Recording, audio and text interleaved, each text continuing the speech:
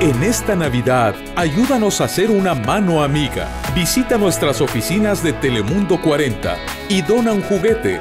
Tus amigos de Noticias 40 Telemundo, junto con el buen corazón de Ángel Quintanilla, repartirán estos juguetes en organizaciones de nuestra área, iglesias y hospitales. En esta Navidad, ayúdanos a ser una mano amiga con Telemundo 40.